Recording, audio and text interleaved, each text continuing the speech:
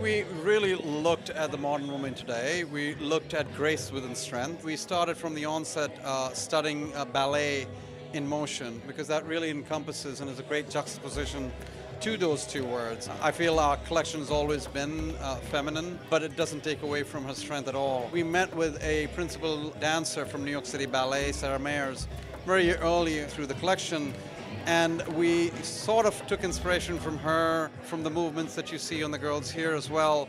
And that sort of dictated the terms and choices of silhouette in terms of fabrics. We wanted a collection that was light, airy, and not so two dimensional. We like the three dimensionality of it.